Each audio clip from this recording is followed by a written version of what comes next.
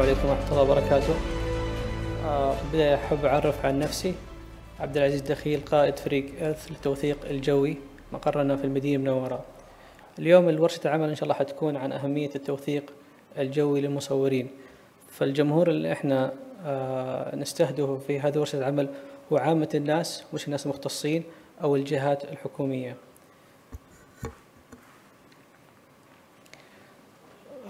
مقدمة ال- ال- الورشة هي عرض عن مبادرة تمت من آه، مجموعة شباب وشابات بعمل تطوعي لتوثيق المملكة من الجو. ولو نرجع للزمن يمكن قبل ثلاث سنوات أو أربع سنوات ما أتوقع أنه ممكن في يوم أوقف وأتكلم عن الآثار أو التصوير الجوي في المملكة.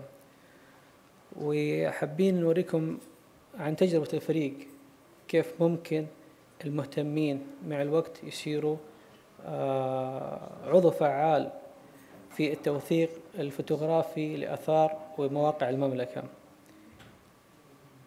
جميع الصور اللي راح تشوفوها إن شاء الله هي من تصوير الفريق باستثناء صورة واحدة يمكن. آه، النقطة الثانية جميع الصور اللي راح تشوفونها تمت أو جميع الرحل للفريق تمت في عطل يوم عطل الأسبوع وكانت تحديدا يوم الجمعة.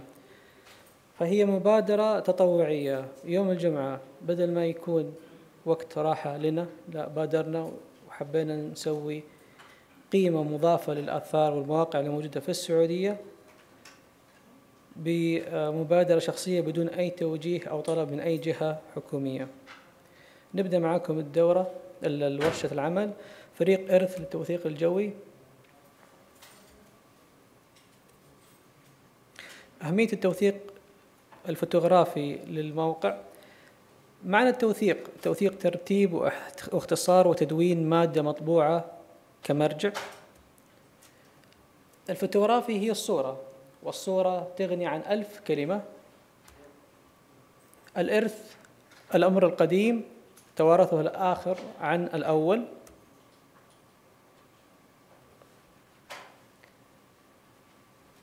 توثيق الإرث مسؤولية المجتمع وليست فقط الحكومات. عدد الفرق التطوعية دليل على مدى تقدم الشعوب والدول. بادر 14 شاب وشابة من أصحاب الاختصاصات والمهارات المختلفة بتأسيس فريق تطوعي باسم فريق إرث للتوثيق الجوي مبني على رسالة واحدة. رسالة الفريق تأسيس فريق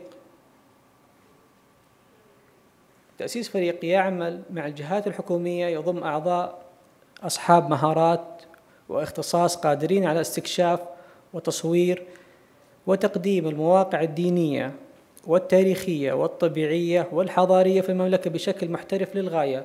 يساعد الجهات الحكومية وغيرها على إبراز هذه المواقع من خلال صور احترافية تعطي الموقع حقه التاريخي وإخراجه بمستوى عالمي للعالم الخارجي.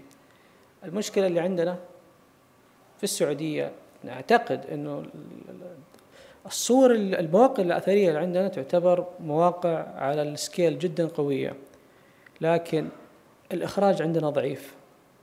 دقة التصوير ضعيفة فن التصوير ضعيف. المحرك الرئيسي لإقامة الفريق أنه ممكن تيجي طيارة هليكوبتر تطير فوق موقع. أنا طيار عارف ال- ال- ال- ال- الوضع إيش يصير في الجو. طيار بيمشي فوق مسار. لو حبوا يوثقوا هذا المركز راح يمشي وراح يعطي توجيه المصور. أنا أفتح لك الشباك صور الموقع.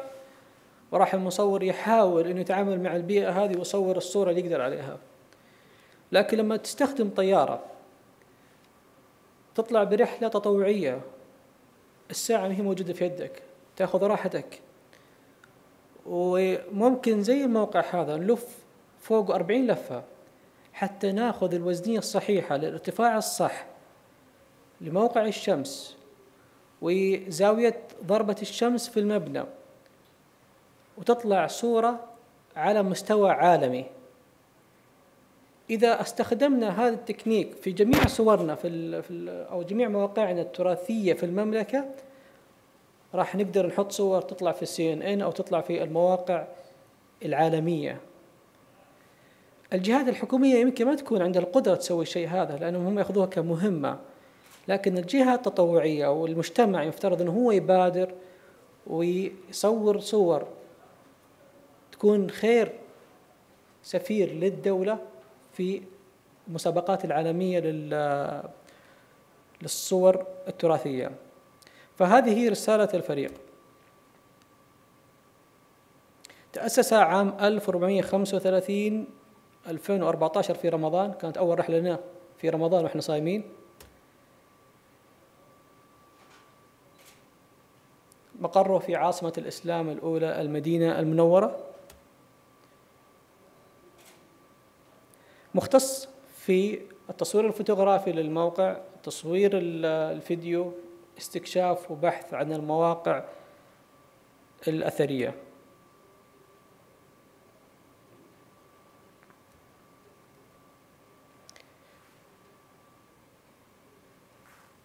يمتلك كوكبة من مصورين محترفين طيارين أصحاب خبرة مصممين خبراء في المعالجة والمونتاج.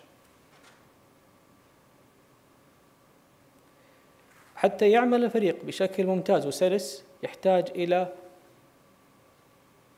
مكتب أو جهة إشرافية أو جهة مختصة تقوم بإمداد الفريق بالمعلومات من أصحاب الخبرة. فسوينا لجنة أو آه مجموعة أعضاء شرفاء أعضاء شرف من دكاترة ومختصين في علوم السيرة النبوية في الآثار والتاريخ ودكاترة في مجلات علمية مثل الجيولوجيا.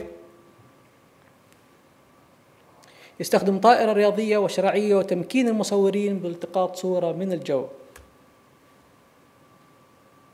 ويستخدم معدات تصوير احترافية متطورة. إذا ما عندك معدات احترافية في التوثيق متطورة كل عملك ما راح يكون له نتيجة.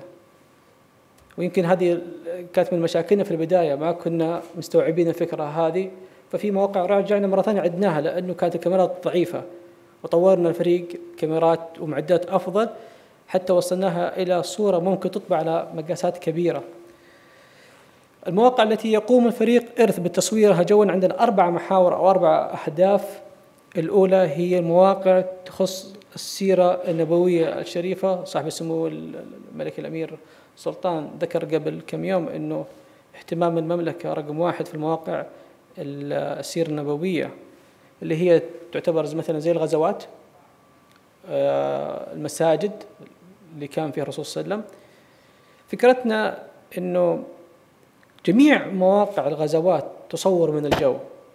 نرفض فكرة إنه نكون في المدرسة يقول لك هذه غزوة وبالرسم. هنا الخندق صار هنا.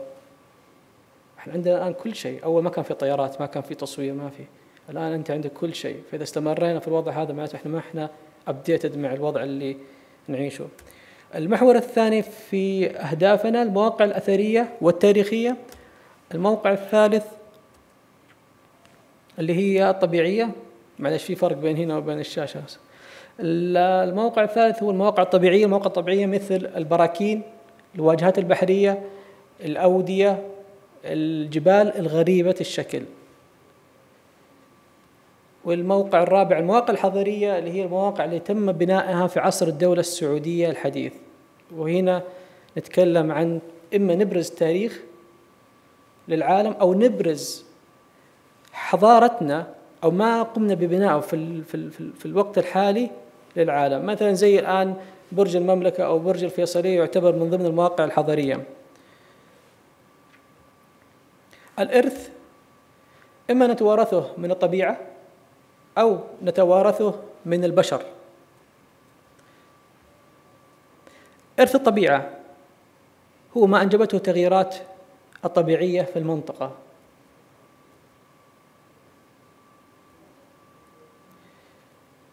في 2008 في يوم الأرض قامت ناسا بالطلب من آه، أعضاء المحطة محطة الفضاء الدولية بتصوير الأرض. هذه المعلومة أعتقد 99% من السعوديين ما يعرفوا عنها. يوم صوروا الأرض من المحطة أخذوا الصور دخلوها في مسابقة. الموقع العاشر كان حرة خيبر في محافظة خيبر في المدينة المنورة. هذه الحرة هي عاشر أجمل بقعة شوهدت من الفضاء للأرض. طيب الرابط هذا الرابط اللي حاب ياخذ معلومة توثق منها. شكل الحرة الصورة اللي فازت. سبب جمالها الفوهات رقم واحد. رقم اثنين كيف حرة بركانية يفترض يكون لونها أسود صاير لونها أبيض وأسود؟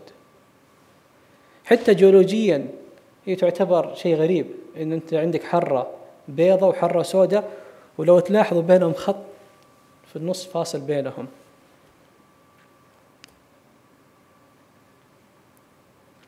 أهمية توثيق إرث الطبيعة.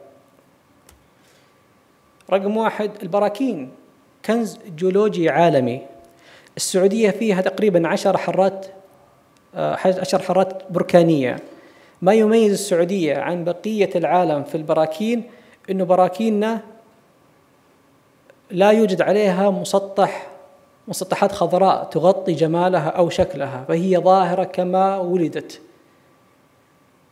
لو لو تعرفوا جزيرة بالي في إندونيسيا هي جزيرة مبنية على على على على بركان لكن ما ما راح تشوف البركان ابدا لأنها مغطية بالغابات. فالسعودية عندها كنز جيولوجي واضح لأهل الجيولوجيا في العالم يشوفوه ومش حرة ولا حرتين عندنا عشرة حرات. رقم اثنين مهجورة ومجهولة.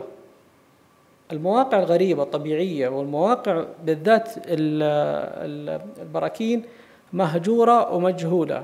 في كل رحلات إحنا نطير فوق البراكين نشوف أشياء عجيبة غريبة. رقم ثلاثة قابلة للتغيير. نبدأ بالصور الجوية. أول صورة من نفس حرة خيبر جبل القدر يسمونه. طبعا الصور كلها باستثناء ناسا الآن صور فريقنا. هذا جبل القدر وهذا جبل البيضاء في نفس حرة خيبر جبل بركاني أبيض. وهذه المساحة هذه الفوهة اللي تشوفونها هي فوهة بركانية لكن وسيعة. مو شرط أن الفوهة تكون صغيرة تكون كبيرة. وغرابتها أنه كيف فوهة بركانية أو كيف جبل بركاني لونه أبيض؟ بينما أخوه اللي جنبه أسود. هذا هذه الحرة يقال إنها انشئ انها إنها تكونت قبل خمسة مليون سنة.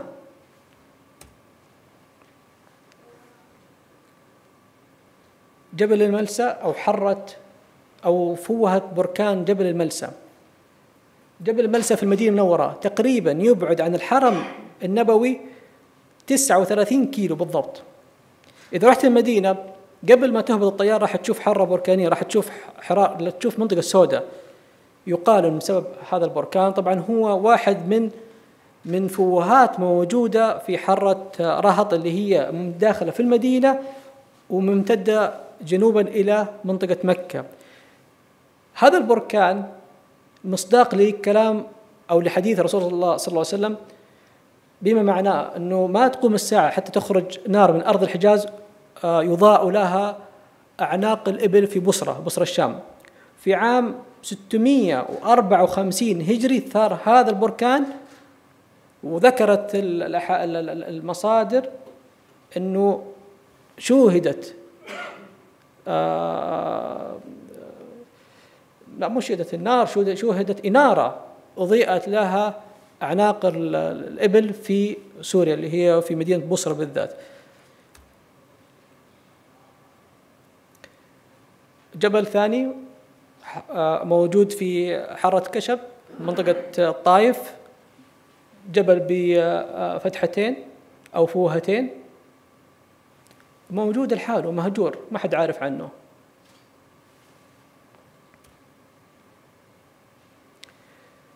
بجنب بركان الملسا واحد من البراكين جبل غريب الشكل. حارة رهط اللي هي قلنا ممتدة من المدينة المنورة حتى آه، منطقة مكة تعتبر أكبر حقل بركاني في المملكة. فيها 700 أكثر من 700 فوهة بركانية زي كذا.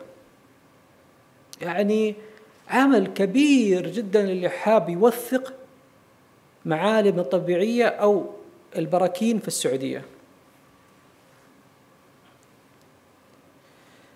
جبل العهين في محافظة الحنكية في منطقة المدينة المنورة جبل تاريخي في نقوش يقال أنها موجودة من خمسة إلى ستة آلاف أو يمكن ثمانية آلاف سنة.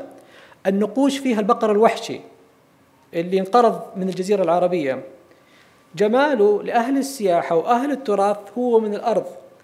لكن لما تطلع فوق من الجو تشوف شوف شيء ثاني. أنا أسميه الرجل الحديدي جبل غريب الشكل من الجو. كأنه كأنه جسم إنسان بس رأس ما أدري فين راح. هذه الصورة يعني ضخمة. في السيارة موجودة بس ما هي طالعة. لو تشوفوا خط صغير هذا الشبك. الصورة مو قريبة الصورة جدا عالية. الجبل لو حبيتوا تاخذوا تفاصيل عنه اكتبوا جبل العهن يمكن يطلع لكم في Google Map تشوفوا شكله من الجو كيف أو عن طريق ال satellite الموقع الأخير في الطبيعة هو مين يعرف المكان هذا؟ مالديف المنطقة المنطقة الغربية. أيوة.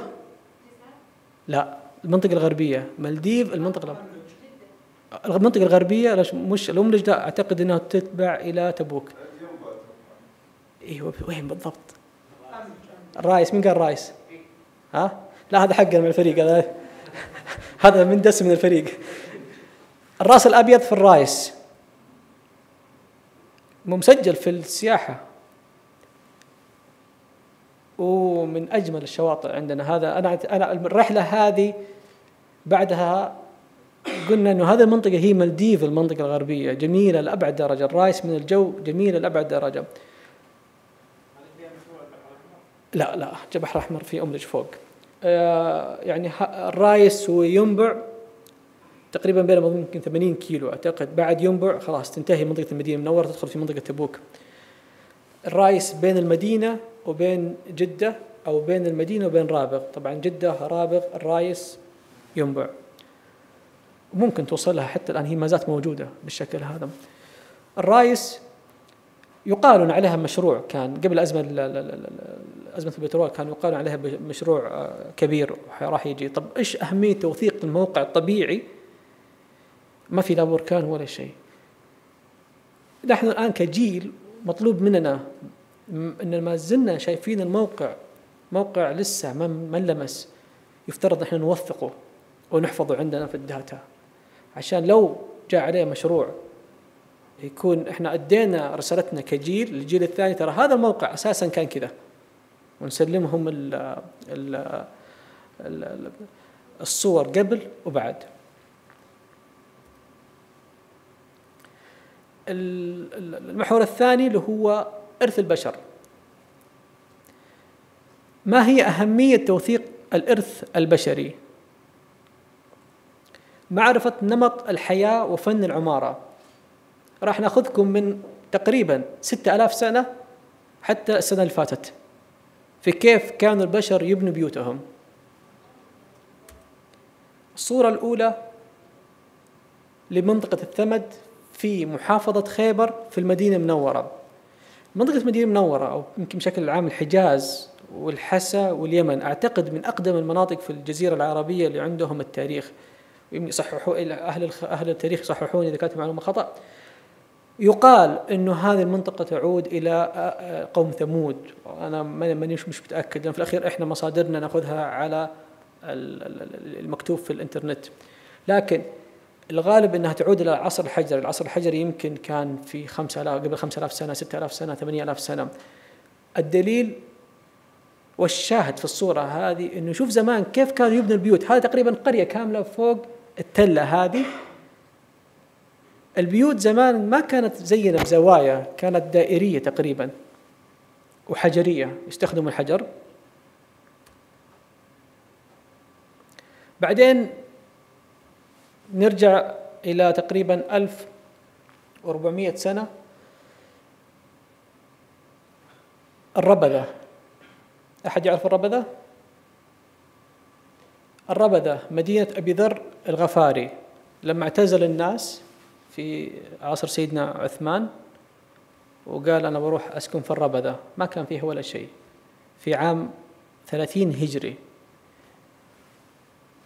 وبنى بيت صغير له وبنى له مسجد وكان معتزل العالم إيمانا إنه انه الدنيا صار فيها فتنة بعد وفاة الرسول صلى الله عليه وسلم. وقال أنا بجلس لحالي كذا في الصحراء. هذه تقريبا حول 160 كيلو مستقيم 160 كيلو تقريبا مستقيم عن المدينة باتجاه القصيم. الربذة. مدينة أسست في عام 30 هجري وماتت في عام 317 هجري بدخول القرامطة إلى المنطقة ولما دخلوا القرامطة وأخذوا حجر الكعبة. يعني المدينة هذه لها 1100 سنة على هذا الوضع. انتهت بالشكل هذا. كانت تعتبر زي المصيف للأمراء والسلاطين في هذيك الفترة.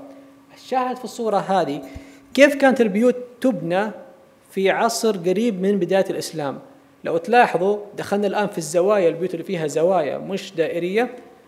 هذه قرية كاملة وفيها أحياء أو مدينة كاملة وفيها أحياء. الحين راح نشوفها بالصورة. الصورة الثانية توضح هذه حي هذا حي كامل. الآن عندنا بيوت مجموعة بيوت. ولو تشوفوا في جهة اليمين في أربعة قواعد هذا مسجد. وراح تشوفوا بعدين مسجد جامع للمدينة كاملة. تمام؟ وهذه التضاريس هذه البقايا البيوت كيف كان تأسيسها؟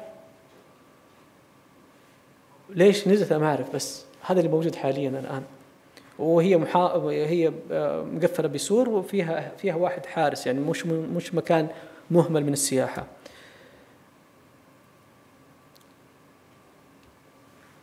أهمية التوثيق. نعرف نمط الحياة السكنية.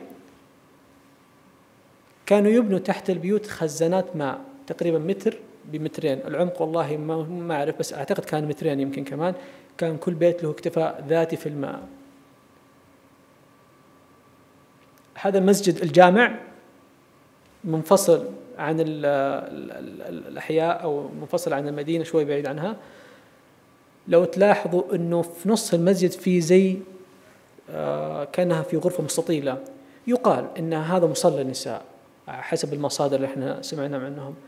وأما واللي في الأمام هو المحراب يعني أتوقع إنه مسجد واضح. هذا مبني أو هذا خلينا نقول إنه هذا عمره 1100 سنة بالقليل من 30 إلى آه، من عام من عام 30 هجري إلى 300 هجري. طيب. آخر جزء في الربذة. بركة بركة المياه. الربذة على طريق القوافل الشام العراق بدأ يدخلوا عليها منها على المدينة أو على مكة. فكانت توقف الجمال هنا وتشرب يقولوا أن الموية في هذه البركة تكفي عشرة آلاف جمل.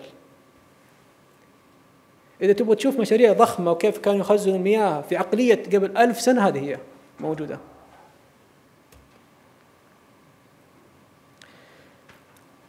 بيت ممكن حنسميه بيت شعبي بيت آه، تراثي موجود في آه، خيبر بالقرب من حصون خيبر. أعتقد ما له كم جيل قبلنا يمكن 100 200 سنة 300 سنة ما أعتقد يتجاوز 300 سنة أو 40 سنة. لكن يوضح للمهتمين إنه عن طريق التوثيق نقدر نعرف كيف انبنى بيت بدورين قبل ما ينهد وكيف كانوا يسووا شبابيك كم حجم كم حجم الشباك. والمسافة بينهم. وهل في كان هل يستخدموا حلية في البيت؟ ديكورات. مكان الباب في النص في الزاوية. السقف كيف كان؟ كيف كان فن العمارة في هذاك الوقت؟ مسجد مشابه لتاريخه. الأعمدة كيف كانت؟ كم المسافة بين كل عمود وعمود؟ تدخل وتشوف الصورة وتقارن بين مساجدنا الآن ومساجد أهل زمان. المحراب كيف كان شكله؟ والصورة التالية قصر مجصص أعتقد اسمه. سقط علينا. باشا دخلت علينا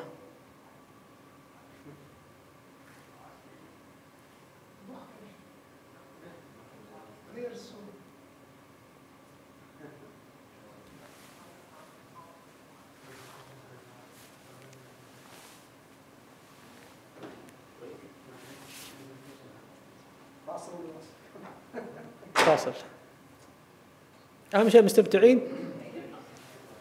بالنسبة للفوهات اللي قبل هل لها اعمار؟ يعطيك اياه أخلص وأبشر بأي سؤال. تمام؟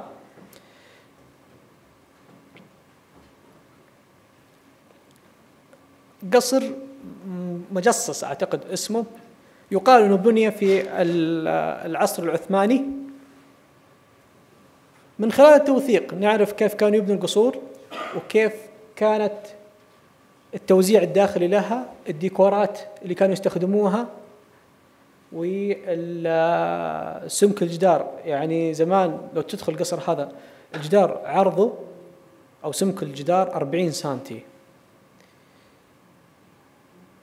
ونوصل حتى كمباوند في جدة اللي هو يمثل جيلنا هذا ملعب تنس مسبح ما شاء الله جميل ومسطحات خضراء. فبدأنا من العصر الثمودي كيف كانوا يبنوا البيوت حتى جيلنا هذا. لو أخذنا الصور لو أخذنا الصور هذه وحطيناها في كمبيوتر ودفنا الكمبيوتر بعد 200 سنة شرط نستخدم نفس ال Windows حقنا طلعوا الصور هذه راح يقولوا أوه قبل 200 سنة كان عندهم مسبح وزي كذا. هذا فيما يخص اللي هو معرفة النمط السكني في التوثيق معرفة النمط الحياة التجارية. كيف كانت الحياة التجارية زمان عن طريق التوثيق؟ القصر اللي تكلمنا عنه القصر المجصص اللي هو على اليسار ساير في منطقة اسمها غيقة أو سوق اسمه غيقة. أدخل على جوجل ماب تلاقوا سوق غيقة. هذا من أكثر المواقع اللي حزني موقع موجود بالقرب من مدينة بدر في منطقة المدينة المنورة. القوافل لما كانت تطلع من مكة للمدينة تستخدم أربع طرق معروفة تمام؟ المنطقة هذه كانت زي يعني سوق ضخم في هذاك الوقت وكانت القوافل تجي هنا وتتسوق وتوقف وتريح وتكمل. يقال أنه هذا السوق مش بشرط بالشكل المبني الآن يقال أن هذا السوق كان مبني من أيام ما قبل الإسلام وأنه في ناس ربطوا أن الرسول صلى الله عليه وسلم جاء ووقف هنا وصلى هذا الموقع بشكل عام هو مهجور. كيف كيف هجر؟ كان شغال ممتاز زي العسل. في عام 1370 وقفوا حركة الجمال. الدولة طورت صار في اسفلت لكن اسفلت جاء بعيد عنه. وما صار أحد يجي للموقع عن طريق الجمل أو توقفت الحركة آه، باستخدام الحيوانات ومات السوق. ويفترض يقولوا إنه كان يفترض إنه القطار العثماني يوصل حتى هنا فهو يقول إنه هذا القصر آه، يفترض إنه يكون حاكم يمكن من من من العصر العثماني لكن انتهى بالشكل هذا. نرجع لأساس المحور اللي هو الحياة التجارية. كيف كانت المحلات زمان؟ كيف المولات زمان؟ كانت المولات زمان عبارة عن دكاكين جنب بعض الدكان مستطيل عميق جوا. لو تلاحظ في في واحد في في في واحد من الدكاكين في جدار الدكان هو اللي في الأمام. العمق هذا كله يقال إنه يستخدم كمستودع للمحل. محطة راحة الحجيج. كانوا الحجيج يجوا ويجلسوا هنا ويريحوا. ساسكو أيام زمان. معرفة نمط الحياة الزراعية أهمية التوثيق؟ بمعرفة نمط الحياة الزراعية هذه مزرعة موجودة في خيبر. خيبر يعني أعتقد التربة هذه لها آلاف السنين وهي تعطي تعطي. ناس ماتوا وهي ما زالت تعطي تعطي الخير. آه لو تشوفوا إنه في فتحتين الفتحة اللي تحت هذا خزان بني الآن لكن الفتحة اللي فوق هذا البئر اسمه بئر العربي بير العربي. البير العربي فتحة وتنزل الدلو وتسحب الموية منه. هذا راح ينقرض خلاص. مع وجود الكهرباء ووجود الغطاس ما في أحد يقعد كل شوي يقعد ينزل شيء ويطلع مرة ثانية. راح ينتهي. فإحنا نلحقه بصورة قبل ما ينتهي. ويبين لنا كيف كانت الزراعة في أيام زمان. برضو في خيبر. خيبر خير. خيبر فيها خير وفيها جمال مو غير طبيعي. عيون تجري الآن في خيبر. كنت طاير وأنا ما أعرف أصلا في عيون. طايرين. قاعدين نوثق المواقع. بعدين الشمس كانت في الطرف الثاني. انعكست على الأرض طلعت طلعت عيون. صورنا الصورة هذه. يقال أنه في أيام الرسول صلى الله عليه وسلم كان في خيبر 300 عين تجري. ويقال الآن من أهلها أنه في خيبر الآن 150 فقط عين تجري. كويس لو واحد مو مشكلة بس أهم شيء أنه في عيون عندنا تجري. موجودة الآن. هل في السعودية في عيون تجري؟ نعم في عيون تجري في السعودية هذا واحد منهم. أهمية التوثيق في معرفة نمط الحياة العسكرية. أكبر حصن في خيبر. أكيد كان من الحصون اللي تخبأت فيها اليهود أيام غزوة خيبر. وتحته القرية التابعة للحصن. طبعا مو ضروري أن المبنى اللي فوق هو يكون مبني من أيام الرسول صلى الله عليه وسلم. لا مش ضروري يكون معد. هذا بالذات يقال أنه جدد في عهد الملك عبد العزيز الله يرحمه. صورة ثانية لحصن آخر في خيبر. طبعا فيها أظن خمسة حصون إذا ماني بغلطان أو سبع حصون في خيبر. صورة قريبة من الحصن اللي شفناه في الأول. يوريك كيف الملامح العمرانية له وكيف كان تكوينته الهندسية. المشاريع الحيوية الأثرية. المشاريع الضخمة زي عندنا الحين إحنا نبني مطارات ونبني آه، محطات ونبني الأشياء الكبيرة. كيف زمان كانوا يبنوا المشاريع الحيوية؟ هذا وادي سد وادي رابغ. يجي من المدينة المنورة ويمشي ألين منطقة مكة ودائما في موية بالنسبة لنا لجيلنا هذا مشروع عادي لو أنت شفته في النت ما أنت يعني ممكن لو شفته في الانستغرام ما تعطيه لايك ما ما في شيء جمال صح ولا لا؟ لأنه عين عيننا متعوده على هذا النوع من المشاريع. لكن السؤال كيف كانوا مقاولين أيام زمان يبنوا سدود؟ وكيف كانوا مقاولين قبل ألف سنة يبنوا السد. إيش المواد اللي كانت تستخدم؟ كيف كان شكل إحنا عرفنا سدودنا بالخراسانة بهذه لونها. كيف زمان كانوا يبنوا سدود؟ نرجع إلى عام 60 هجري. سد معاوية في منطقة المدينة المنورة. هذا سد مختوم عليه ومسجل في السياحة. سد معاوية بني عام 60 هجري. الغريب أنه هو تقريبا بعده عن المدينة عشرات الكيلوات مترات. لكن يمكن كان يمنع مويه دخولها المدينة أو ماني عارف إيش السبب أنا مش جيولوجي ولا لي في الأمور هذه ولكن سد اكتشفناه ما أدري كيف. آخر الدنيا وموجود ومن ضمن الأهداف آه، اللي نبحث عنها لقينا إنه هذا سد تاريخي موجود. لما سوينا بحث لقينا الناس مصورين إنه هذا السد عليه ختم التاريخ بنائه. صورة أبعد للسد وكانت فرصة ممتازة. صورنا أول شيء كان ناشف. بعدين جاء مطر وأنا رايح على الرياض مدري فين رايح على دبي. طلعت لقيت الموقع سد أعرفه من الجو. لقيت إنه المنطقة كلها مليانة موية. أول ما رجعت كنت رايح دبي. أول ما رجعت من دبي شباب يلا جينا وصورناه بوضعه هذا. حتى تكتمل الصورة وتكتمل توثيق سد والماء كيف كيف شكل السد بوجود السيل أو بوجود الماء. سد أقدم منه سد البنت. أحد يعرف سد البنت؟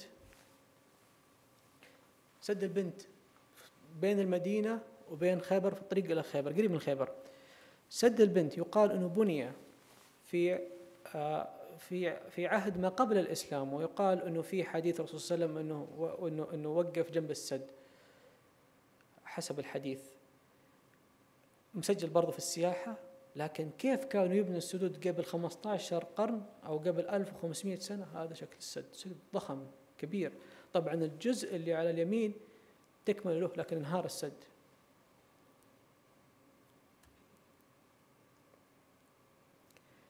منطقة الرياض جبال طويق الديرة. أهل الرياض ساكنين فوق. واللي بيروح على جدة لازم ينزل تحت صح؟ بكل بساطة تيجي أنت تركب السيارة طيب تشق الجبال تنزل تحت. المسافة بين فوق وبين تحت 500 قدم 150 متر 50 دور عمارة نص ارتفاع المملكة تقريبا برج المملكة. فإحنا ما عندنا مشكلة إحنا أصلا نحس في السيارة ما نحس اللي بيروح جدة ما يحس طنق عدى المشوار هذا. كيف زمان كانوا يسووا المشاريع وكيف كانوا يتغلبوا على على على منطقة زي هذه؟ أهل الرياض ما يمكن ما يعرفوا كيف كانت المعاناة زمان. طريق اسمه القدزيه القدزيه الجدية. الزديه القديه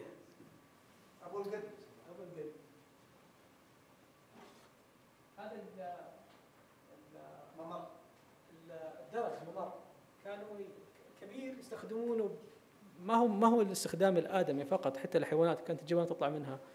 أنا ما أتوقع إنه احتاج إني يعني أشرح لكم هذا جزء من من من المنطقة من من من آثار المنطقة. لكن كانوا يقولوا إنه الجمال تقعد يوم كامل عشان تطلع المنطقة هذه. يعني لو نرجع مرة ثانية للصورة اللي ورا عشان يتغلبوا على هذا الارتفاع اللي أنت الآن بدون ما تشعر فيه تعديه بالسيارة بأقل من دقيقة كانوا زمان يقعدوا يوم كامل فيه عشان بس يعدوا المنطقة وهذا هذا الموقع مرتبط بعصر الإسلام. اللي ما يعرفوا أهل الرياض أنه لهم جزء من تاريخ الإسلامي في بداية العصر الإسلامي لأنه كان الحجيج يعبروا الطريق هذا على مكة ورجع من مكة وغير التجار طبعا وغير التجار يعني حركة التجارة في ذاك الوقت. فعن طريق التوثيق نقدر نعرف كيف كانوا ينشئوا هذه المشاريع وكيف كانوا يستخدموا المواد أو إيش المواد اللي كانوا يستخدموها في المشاريع الحيوية في هذاك الوقت. أهمية التوثيق للإرث البشري في معرفة المباني في معرفة مباني المعتقدات الدينية والإسلامية. تبغوا تشوفوا معبد في في في السعودية؟ نعم في معبد في السعودية. قصر الحمراء موجود في محافظة آه، تيمة في تبوك. قصر الحمراء بني أديكم تاريخه بس دقيقة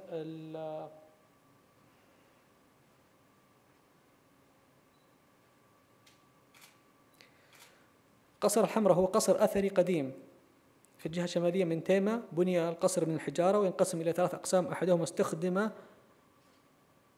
للعبادة والآخر لخدمة سكان القصر ويعود تاريخ بنائه إلى منتصف القرن السادس قبل الميلاد. فواحدة من أو جزء من الغرف هذه كانت تستخدم للعبادة. موجود القصر ما زال موجود الآن. وزي ما أنتم شايفين محافظ عليه من قبل السياحة.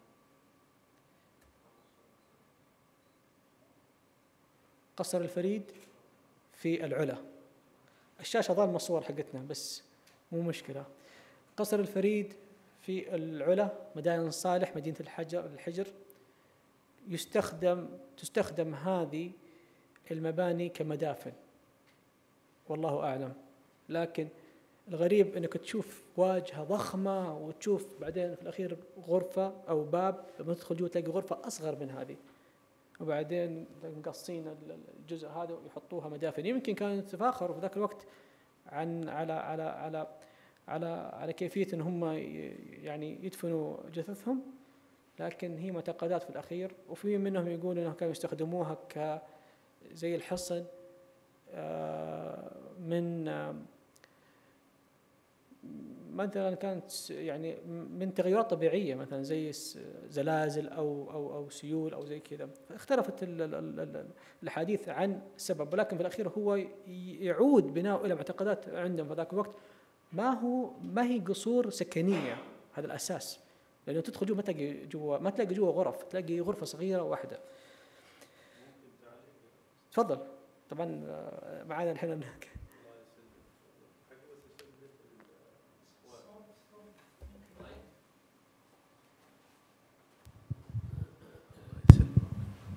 مساكم الله بالخير جميعا. طبعا في الحقيقة أنا زرت هذه الأماكن قرابة 44 عام يعني قبل 44 عام. فطبعا كان في الدكتور عبد الرحمن الأنصاري الله يمسيه بالخير ويشافيه إن شاء الله ويعافيه. فذكر لنا في ذيك الفترة وأنا أتذكر أنه هذه كانت جزء منها مقابر وجزء منها يدرس. يعني عفوا يعني مش تدريس إنما إيش؟ يعني يجلسون فيها. في أيام الشتاء هي الغرف طبعا منحوتة من أسفل فيدخلوا فيها من أجل أنهم إيش؟ يعني يحتموا من البرد والوحوش حسب ما ذكر الدكتور. وطبعا أنا صعدت في ذيك الفترة في أحد القصور هذه وأنا شاب يعني في عمر 17 سنة 16 سنة. فكانت في مقابر فوق في مقابر موجودة فوق القصور هذه.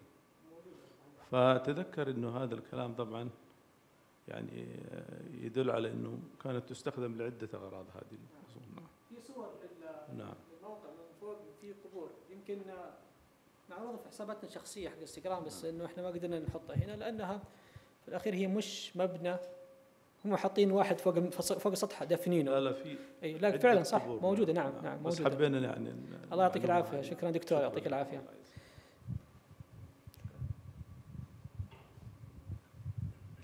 تعطينا الشاشة؟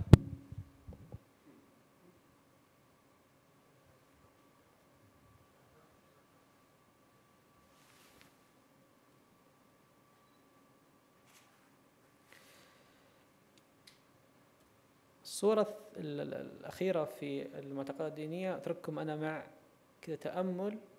هذه الآية.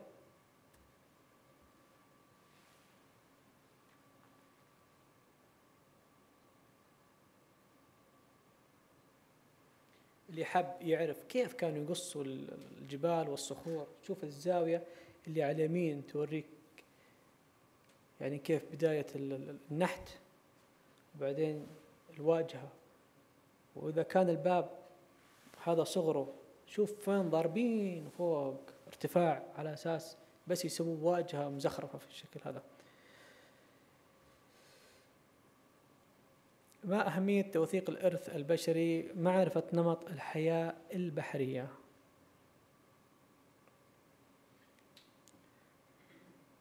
أحد يعرف ميناء الجار؟ ميناء الجار أول ميناء إسلامي في أقرب واجهة بحرية للمدينة المنورة. أول أول ميناء لعاصمة لعاصمة الإسلام. إذا تتذكروا صورة الرايس الرأس الأبيض هذا جنبه ميناء الجار. ميناء الجار يقال أنه بني أو كان موجود من قبل عصر الإسلام وازدهر حركته في عام في في في في في بداية الإسلام. وإذا تعرف تتذكر التاريخ إنه أصيب المدينة عام الرماد الجفاف فاستخدم هذا الميناء إنه يأخذ البضائع والمواد الغذائية من مصر كانت تشحن له. في آه، القرن الخامس هجري انتهى الميناء أو اندثر. الميناء موجود حاليا.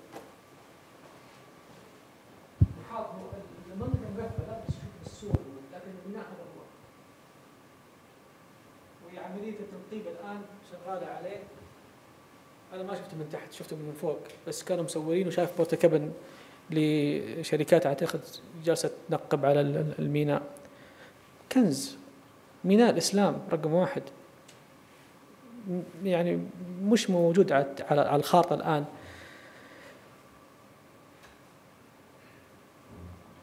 ما أهمية توثيق الإرث البشري؟ الشرح بصورة يغني عن ألف كلمة. نعطيكم بالدقائق اللي جاية هذه. ندخلكم في غزوة بدر. دقائق نشرح لكم الغزوة كيف صارت باستخدام التصوير الجوي باستخدام قسم المونتاج عندنا باستخدام المصادر الشرفية إمداد بالمعلومة. وراح نعطيكم الغزوة من أولها لآخرها كيف تمت. بداية الغزوة هي ملاحقة لقافلة أبي سفيان.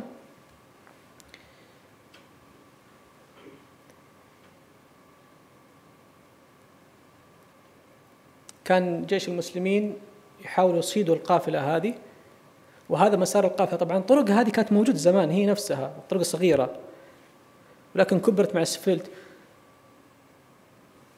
انحرفت القافلة وأخذت مسار ثاني تبعد عن جيش المسلمين وبعدين أنت عندك دخول جيش المسلمين من الشمال ودخول جيش الكفار من الجنوب. في الصورة الثانية يبدأ القرآن يوريك كيف تمركز الجيوش كان. وأتمنى الصوت يشتغل.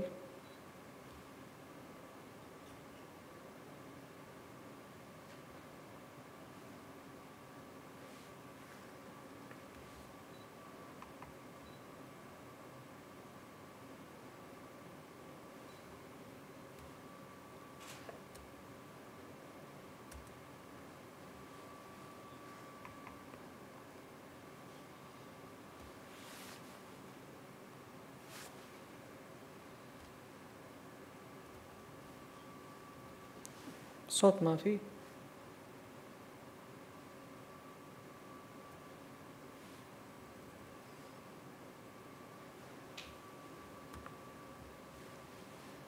أوكي ما ما في صوت. ما قدرنا نحط الآية مع العرض. لكن المسلمين كانوا في العدوة الدنيا والعدة القصوى. العدة الدنيا طلعنا موقعها فين؟ اللي مذكورة في القرآن تماما. والعدة القصوى طلعنا فين؟ والركب تقريبا في المنطقة اللي هي قريبة من البحر. وبعدين موقع الغزوة تحدد صاروا كلهم في وجه بعض وفي النص اللي حيصير موقع الغزوة. تذكروا أيام زمان لما كنا في المدرسة كيف كانوا يعلمونا الغزوة كيف؟ الآن قارن بين تعليمك لغزوة بدر وكيف أنت الآن تأخذ المعلومة عن طريق التصوير. مخطط المعركة؟ كيف تمت المعركة؟ هذه ساحة القتال موجودة الآن.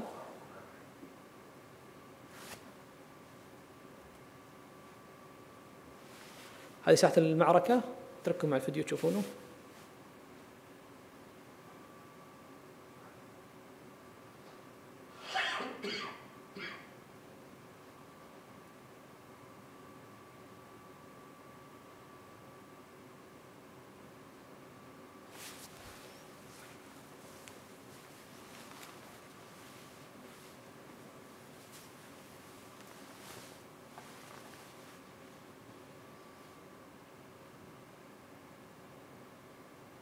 حاولنا نحط الحركة أو أو أو محاكاة المعركة قد ما نقدر على المواقع الحقيقية اللي كانت فيها.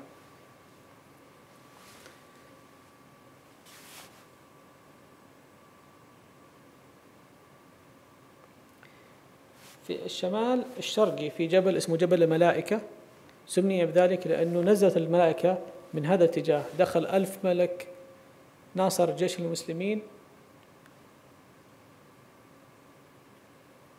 جزء منهم هربوا المشركين وجزء أسر وجزء آه، مات أو قتل.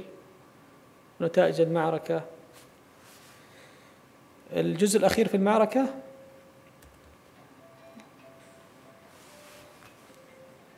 عدد الشهداء موقع المقبرة الشهداء موجودة. الآن هي موجودة في بدر لكن مش مش معروف فين بالضبط لأنها أو الناس ممكن ما يقدروا يشوفوها لأنه هي في جزء كبير آه، آه، مصور. ف طبعا التصوير من جوي من فوق تقدر تكشف المكان بالكامل وهذه آه، قائمة بعدد أو أسماء الشهداء. السؤال اللي اللي يحرك الفريق عندنا أنه لا يستحق أبنائنا الطلبة والزوار من المعتمرين والعامة في معرفة أحداث غزوات الرسول صلى الله عليه وسلم بطريقة حديثة؟ مرتبطة بمحاكاة موقع الغزوة؟ قال يفترض أن إحنا نطلع ونصور كل أو إنه إنه إنه تصور جميع مواقع الغزوات ويجوا حقون السيرة النبوية ويركبوا الصورة على الأحداث اللي تمت ويجوا ناس حقون المونتاج والمعالجة ويحركوها بطريقة معينة إنه يخلوا الجيل اللي طالع يعرفوا كيف الحركة. وهذه كمان يعني أحس انها هي مسؤولية علينا تجاه الزوار والمعتمرين اللي حيجوا. اذا كنا نتكلم عن 20 30 معناته انه في ناس كثير حيجوا كسياحة دينية أو ك كزوار للمواقع الدينية. آخر سلايد عندنا أو آخر جزء في سلايد اللي هو سرعة التوثيق قبل فوات الأوان. قبل غزوة بدر في غزوة اسمها غزوة العشيرة. القافلة الآن شفتوا إحنا راجعة قافلة أبي سفيان. راجعة من الشام راحت أخذت البضاعة ورجعت. فالرسول صلى الله عليه وسلم حاب حب حاول يصيدها وهي طالعة في الأساس. فراح وجلس في مدينة اسمها مدينة العشيرة. هذه المدينة جلس فيها الرسول صلى الله عليه وسلم أكثر من شهر. تمام؟ و المصادر تقول إنها في مكان معين في بالقرب من وادي بالقرب من آه، آه، آه، بعض العلامات الطبيعية ما زالت هي موجودة. شغالين مع محافظة ينبع ومع ناس في في أهل اختصاص عندهم قالوا نبغى نطلع موقع المدينة هذه. مدينة مدينة حية. كان في الرسول صلى الله عليه وسلم يعني ما هو مثلا بيت هذه مدينة كاملة كانت موجودة. هذه المساحة اللي قاعدين ندور فيها في الجو. وهذه الصورة اللي هي كانت في ظهر الصورة الأولى. بعد ساعة وخمسة بعد ساعة وخمسة دقيقة وإحنا ندور ما إحنا عارفين هو فوق الجبل المدينة ولا هي صغيرة ما إحنا عارفين حجمها قد الربذة ولا قد آه، مدن كبيرة ولا هي مثلا بيتين. اكتشفنا موقع المدينة. موقع المدينة هي اللي قدامكم هذه المنطقة البارزة اللي متقوسة.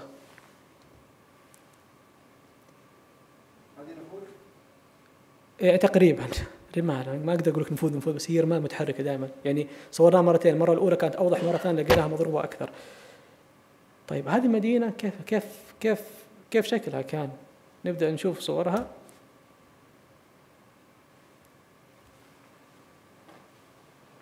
تقويسه مو طبيعية. تقويسه سور المدينة.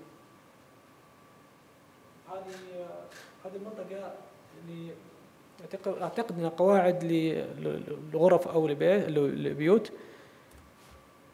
الصورة المحزنة أعتقد وضحت المدينة الآن لكم من الجو. وهذه أهمية التوثيق الجوي والتوثيق بشكل عام.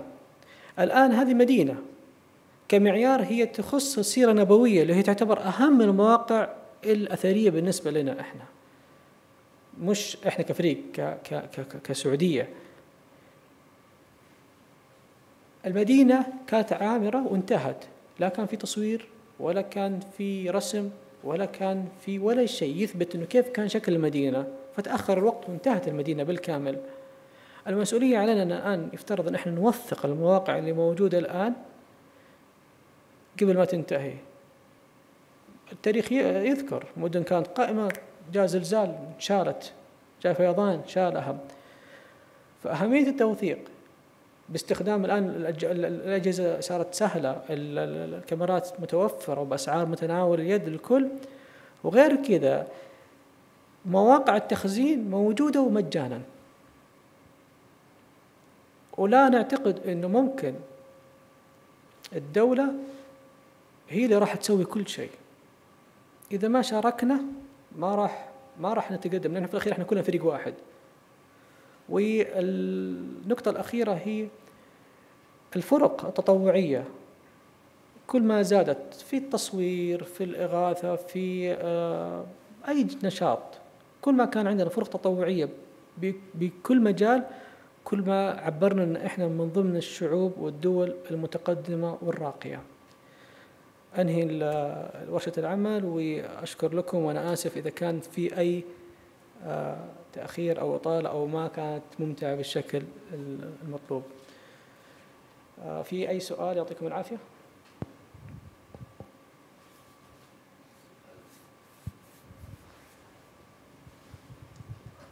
شكرا مرحبا. يعطيك العافية. آه، بس أنا بدي أعرف أنت بتشتغل لحسابك ولا ضمن مؤسسة حكومية؟ بعدين أنا شفت أنه غالبية الصور هي من الجو. يعني ما في صور قريبة مساوية مصورة. وين بتحط صورك مجانا؟ شكرا. أبشر. إحنا فريق تطوعي. كل الصور شفتوها تمت في خلال من عام 2014 زي ما قلنا لكم اللي هي في رمضان حتى قبل تقريبا كذا كم كم أسبوع. متطوعين. اللي عنده طيارة يجيب طيارته اللي عنده كاميراته هو يجيب كاميراته اللي عنده آه، معلومات في الأرض يفيد الفريق. عندنا ناس شغالين في الجغرافيا أما أوصل مثلا زي منطقة الربذه منطقة تقريبا أقرب سفلت لها 30 كيلو ما أعرف فينها. في عندنا ناس مختصين في الجغرافيا هم الليدر نمشي إحنا وراهم. فكل واحد حسب مؤهلته فاجتمعنا وكل واحد يعطي زكاة اللي عنده في العمل هذا. الشيء الثاني هل إحنا عندنا دعم؟ لا كله بنفقتنا الخاصة. وما اشتغلنا حتى الآن مع ما اعتمدنا حتى ما اعتمدنا حتى الآن من أي جهة حكومية. في البداية أنت تبني السي في حقك ما مش ممكن تروح عند السياحة تقول والله أنا حاشتغل تحتكم طب أنت مين بس بعد ما تكون سي في لك وتكون الفريق المتكامل كأنك تكون منشأة تجارية بالضبط تقريبا وبعدين تكون عندك القدرة إنك أنت تقدر تتكلم مع حقون السياحة. طبعا جلستنا هنا أو الدعوة اللي توجهوها السياحة لنا هي بداية الاعتراف بعمل الفريق وإنجازاته. بالنسبة للصور موجودة هذه مواقعنا أتمنى انكم أنتم تدخلوا وتشوفوها وتشوف الصور. إحنا ما إحنا يعني هي صور مش صورنا ولا هي موقع مواقعنا. إحنا نتكلم عن مواقع يفترض إنه الناس يشوفوها لأنها هي تعبر عن المنطقة. إحنا ما نسوق سوق لصور خاصة فينا. إحنا نسوق للدولة ولتراث الدولة. تمام؟ السؤال الأخير اللي هو التصوير الجوي هذا هذه مواقعنا. السؤال السؤال الأخير كان عندك. طبعا هذا موقع انستغرام وتويتر وموقع ال website. السؤال الأخير هو تصوير الجوي أو القريب إحنا مختصين في التصوير الجوي فقط. الأرضي ما شاء الله كثير بس الجوي قليل. وما نستخدم الطيارة الريموت هذا. نطلع بنفسنا فوق ونحط المصور على الزاوية. يعني مثلا الوقت المميز للتصوير أو الساعة الذهبية للتصوير يقول لك قبل بعد الشروق بساعة وقبل الغروب بساعة. أنتم عارفين طبعا المصورين يتكلموا فيها عارفينها فأنت لما تبغى تدخل تبغى تصور موقع تحط الشمس على جهة وتخلي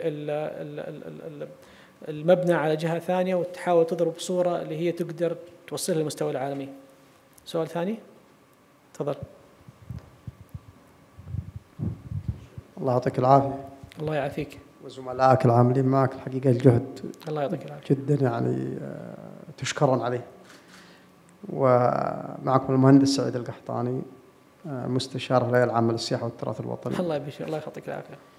آه، طبعا بدون شك أهمية التصوير أنت ركزت على معالم ووزعتها إلى فوهات بركانية وبعض المعالم الطبيعية وبعض المعالم الأخرى من الإرث الإنساني ولكن هناك أيضا نحتاج للتصوير في الأشياء الصغيرة اللي بالتصوير يمكن القريب يعني آه، بعض الخصائص الزخرفية في المباني بعض الخصائص الزخرفية في السجاد مثلا. هذه طبعا لها أسرار يعني معينة. وأرجو أن تتمكنوا من ذلك مستقبلا يعني آه، كمجرد اقتراح. الملاحظ أن معظم الصور اللي عرضتها تركز على منطقة المدينة وما حواليها. باستثناء طبعا المناطق اللي تابعة إداريا منطقة تبوك ومكة منطقة المملكة إجمالا غنية يعني ببعض المعالم وخاصة المنطقة الجنوبية. من الطائف إلى نجران الباحة عسير كل منطقة. فيها قرى تراثية جميلة فيها معالم فيها شواطئ فيها جبال آه، يعني نادرة. وكذلك المنطقة الشرقية. الاستفسار هل في المستقبل إن شاء الله ستغطوا المناطق هذه؟ آه، وأرجو أن تغطوه. الاقتراح تطوعكم مشكور لكن أنا أقترح أن تكونون كجمعية تسجلون اسمكم جمعية عشان يكون ككيان اعتباري يبقى. لو عبد العزيز الدخيل ترك التطوع تبقى الجمعية هذه جمعية المصورين أو نسميها ما اسمنا متأكد كثير من المنظمات والوزارات والجهات الحكومية تطلب المنتج حقكم. متأكد لأنها صراحة يعني بصرف النظر عن اللي موجود حاليا. كثير من ال- الوزارات عندها أرشيف لكن للأسف محفوظ في ملفاتها ولا يستطيع الحصول عليها من يريده يعني. أما للسرية أو للتكلفه أو ما إلى ذلك. فأنتم مشكورين. فأنا متأكد لكم سوق واعد وأرجو إن شاء الله ت- تثمر جهودكم وتستمر يعني. وأخشى ما أخشاه أن تصلوا لمرحلة وتتراجعون نعم صح. كحالة البشر يعني. الواحد يعني يعمل فترة معينة ثم يتوقف. يقول الله ما حد دعمني ما حد عمل لكن إن شاء الله نرجو أن همتكم تستمر. وأنا عن نفسي صراحة أول مرة أسمع عن هذا الإنتاج وعن هذه وأرجو إن شاء الله التعارف مستقبلا والتواصل إن شاء الله. إن شاء الله. المهم هو ليش أنتم متمركزين في منطقة المدينة؟ لأنه إحنا فريق تطوعي. نطلع من العمل يوم الخميس ال- العصر أطلع أنا أطلع من مكتبي من 6 المغرب. واحيانا السبت لازم أكون موجود في العمل. عشان جينا وصورنا طويق استفدت من آه، من عيد الفطر.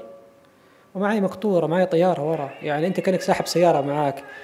فالمدة اللي شغالين فيها المسافة الوق- الوقت اللي عندنا ضيق. الشيء الثاني ليش الجنوب ما تصور فيه؟ هنا النقطة ما حد يعرفها إنه الطيران ممنوع في المنطقة الجنوبية بشكل عام للفئة اللي إحنا شغالين فيها لأنها منطقة عسكرية. الواجهة البحرية ممنوعة إلا إذا أخذت إذن. فمثلا زي الرايس أخذنا فيها إذن وطرنا. آه بدر أو تيمة.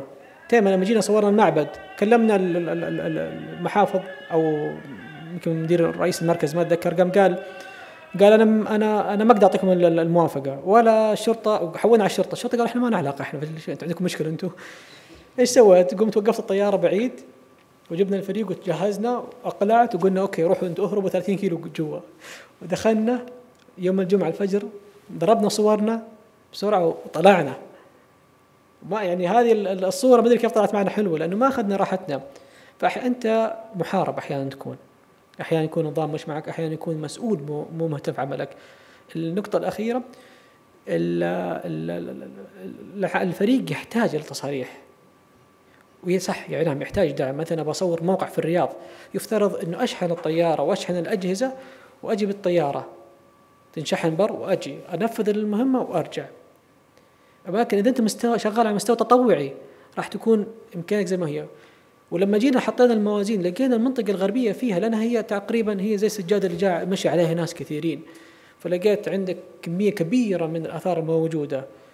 ويمكن قدام تتحسن. إحنا معطين تقريبا عمر الفريق كمان ثلاث سنوات قدام وبعد كذا يمكن نوقف. يعني الطيران برضه يحتاج إلى جهد مش سهل. عشان كذا أنا أقول أسسوا كيان جمعية. هو- هو- هو هو هذا الآن إحنا من الان الآن فكرتنا إحنا نعتمد من الجهات. بعدين ممكن ندخل إلى جمعية صح زي ما أنت قلت.